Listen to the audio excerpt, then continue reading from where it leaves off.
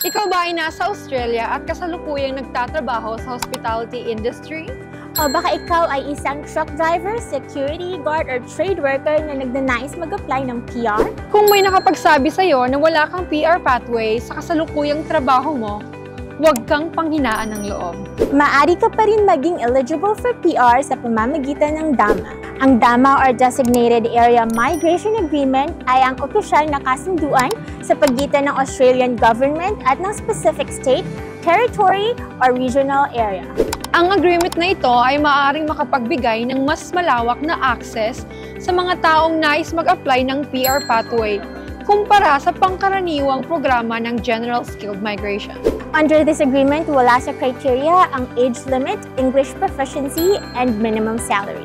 Ang kailangan mo lang ay at least one year work experience in your nominated occupation at employer sa Adelaide or Orana region. Kung nais mo ng karagdagang impormasyon, tumawag, bumisita, or mag-message sa amin sa Asia Pacific Group.